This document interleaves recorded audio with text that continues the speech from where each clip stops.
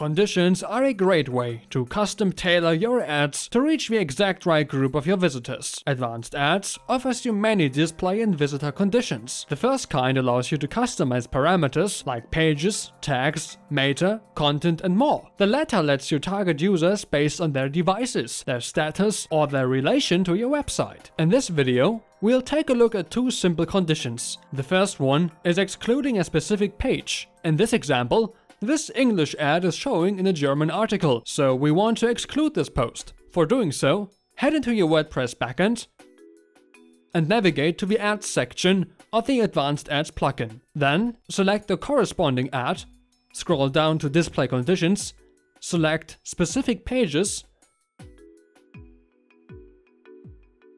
click on Is Not,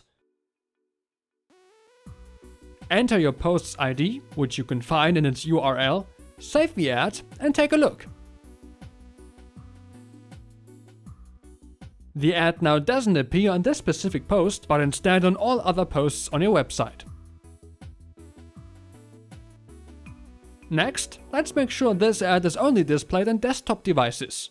Same procedure applies, but now go for visitor conditions instead and choose devices and select desktop.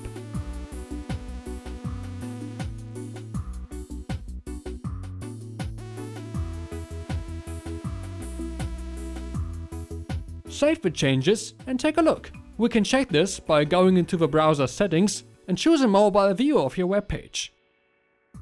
The ad won't appear now, but it does appear in desktop mode.